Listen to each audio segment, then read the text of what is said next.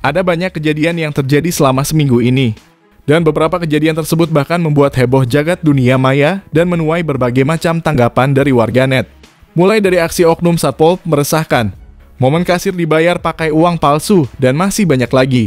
Kali ini kita bakalan rangkum kejadian-kejadian tersebut di Viral of the Week.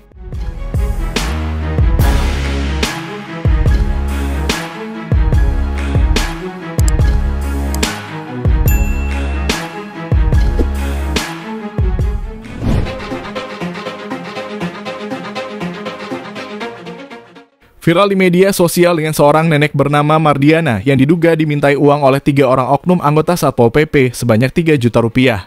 Peristiwa itu terjadi di Pekanbaru Riau. Berdasarkan informasi yang beredar, ketiga oknum Satpol PP itu mendatangi nenek Mardiana untuk menanyakan izin mendirikan rumah kontrak milik si nenek. Mardiana mengaku dirinya dimintai uang 3 juta rupiah untuk izin mendirikan rumah kontrakan. Kemudian kata Mardiana dia menjawab bahwa dirinya tidak memiliki surat izin tersebut. Menanggapi kejadian itu, Kepala Satpol PP Kota Pekanbaru, Sulfahmi Adian langsung mengunjungi rumah nenek Mardiana.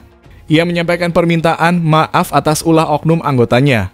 Sementara itu, terkait uang yang diminta oleh oknum Satpol PP sudah dikembalikan lagi ke nenek Mardiana. Dulu lah. Nggak bisa gitu pula tuh, Bu. Hmm? Nggak bisa pula gitu, Bu. Ini separuh pula adanya. Tuh. Nggak pula kita apa nama itu, Bu. Hah, separuhnya uang. Nggak sepakat kita nama itu, Bu. Iya,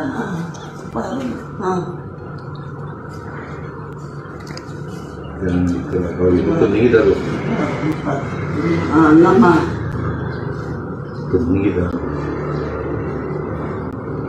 Bisa? Nggak boleh mengatur.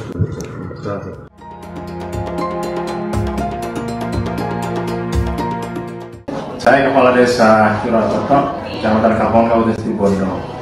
Ini warga saya, siswa SD Curatoto 1 yang menjadi juara atlet cilik di Kabupaten Situbondo. Tetapi sayangnya oleh Dinas Pendidikan yang selaku penyelenggara diperlakukan tidak adil ini.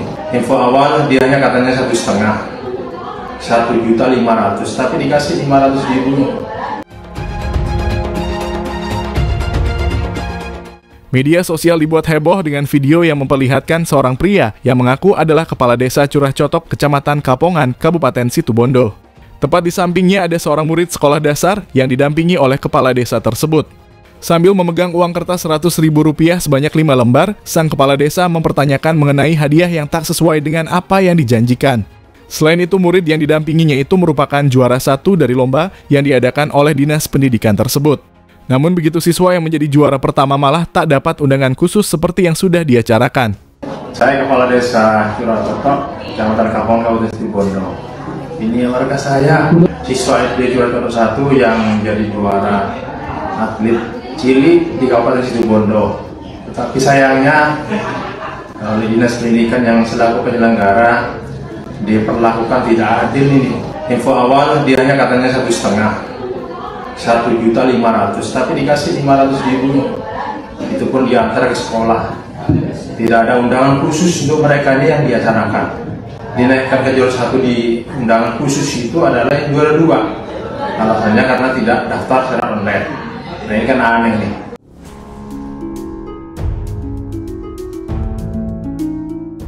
lagi miskin-miskinnya coba ditipu orang loh tuh tuh nah Viral di media sosial dengan sebuah video yang direkam oleh seorang kasir yang menjadi korban pembayaran dengan uang palsu. Sambil tertawa menutupi rasa sedih, si kasir mengatakan kalau sudah begini kasirlah yang akan nombok. Terlihat selembar uang kertas Rp100.000 yang ternyata uang tersebut adalah palsu. Kejadian ini terjadi di sebuah tempat makan di daerah Bandar Lampung. lagi miskin-miskinnya coba ditipu orang loh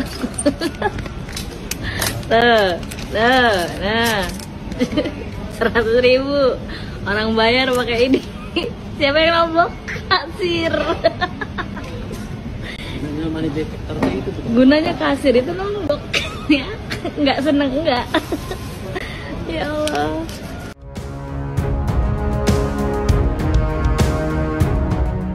Inilah sebuah rekaman yang tengah viral di media sosial dan menuai banyak sekali komentar lucu dari para warganet. Terlihat seorang pria yang memakai atribut kepolisian berada di kantor polisi dan sedang ditanya oleh para petugas kepolisian di kantor tersebut.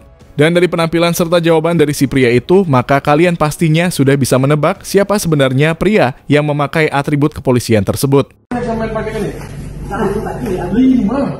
Nggak lainnya. Coba lepas dulu bajunya, lepas dulu. Dalamnya yang apa kaosnya lihat dulu saya. Ini, Pak. Ini. Sama ini polisi ya. ngeri asli ya. Iya. Ada burung-garudanya lagi. Namanya siapa Pak? Namanya saya Marco Legus Bustami Nagana. Pangkat? Pangkat jenderal itu sudah simbol tiga. Jenderal. Oh, jadi. Mabes Polri. Ini apa nih? Cuman Ini ini dari Ya, coba berdiri ini. Lihat lah saya. Apa? Tenang bayi. Engkau best friend. Iya, kamunya dari rumah ini Pak. Iya, lihat dulu. Nah, keluarkan dulu yang ada di kantor. Kita cek. Polisi itu bawa apa aja? Iya, ini bawa ini. Oh, Iya, oke. sarung ini dari rumah. Dari Sangu. Iya. Sangu ya? Buka lagi. Ini kuncinya saya. Terus. Enggak ada kan, Bre? Ini apa nih? Apa ini? Ini apa? Sempak kah? Sempak apa plastik? Sempak itu. Coba, lihat dulu saya. Provos. Nah, Ini apa ini? Ini lami. Bawa senjata sama Astagfirullah, tidak bawa ini aku enggak sentuh kayak itu. Jangan dibuka malu enggak Ini kali. apa ini? Malu Pak. Ini Ya, dulu. Iya, aslinya malu kan enggak enak kan? Pegang saya. Iya, aku enggak seneng kayak gitu. Kok ada kok sampean ada? Enggak seneng. Apa ini? Buka-bukanya enggak seneng. Asli mana? Asli mana? Asli Pamekasan. Pemekasan. Desa apa? Desanya di Saudara satu. Iya. Pendidikan di mana? Gimana? Pendidikan di mana? Pendidikan di Saudaraan sudah lunas upacara kemarin. Cuman aku punya tugas ke keluarga itu. Nama sampean Polri. Iya. Itu kan politik ya. Nangga itu namanya. Sama Marco. Sampean ini nggak sembarangan pakai atribut kepolisian ini ya. Iya. Sabara. Sabda. Brimob. Iya. Polres Pemekasan. Sampean nggak sembarangan. Pak. Gimana? Nggak sembarangan sampean pakai ini. Enggak. Kami dapatkan ini setengah mati. Penghargaan. Penghargaan apa sampean? Penghargaan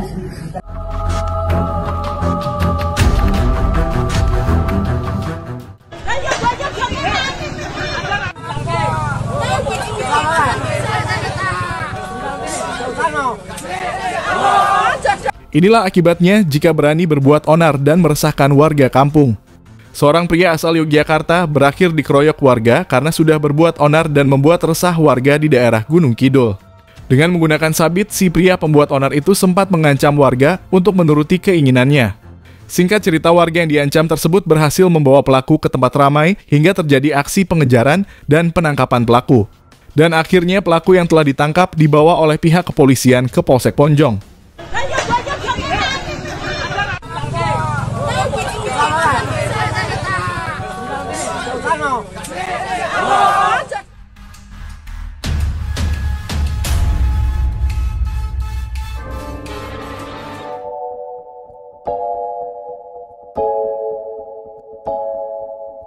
Itu tadi kumpulan kejadian di Viral of the Week. Dan terima kasih sudah nonton video kita, jangan lupa subscribe.